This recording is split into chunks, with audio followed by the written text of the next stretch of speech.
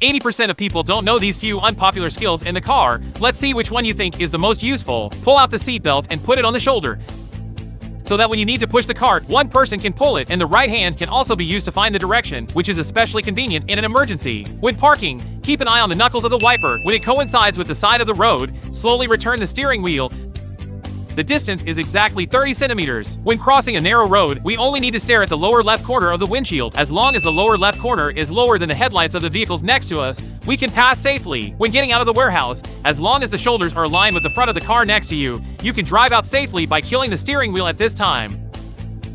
Follow me. There are 1,000 car knowledge on the homepage.